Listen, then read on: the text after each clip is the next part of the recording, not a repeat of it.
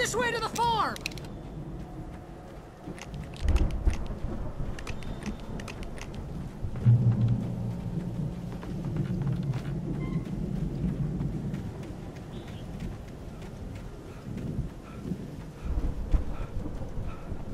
See, bestseller, no reason to worry. Your cutout's good as new, right where I left it.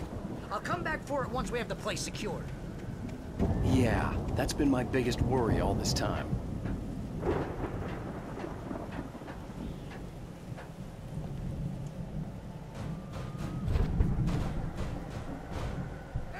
Think Alan Wake here has something to say. Uh, what's that, Al? Ooh, I'm Alan Wake. I'm always right about everything. And if I don't get my way, I'll sulk all day long. I'm always intense and moody. It makes me very attractive and mysterious.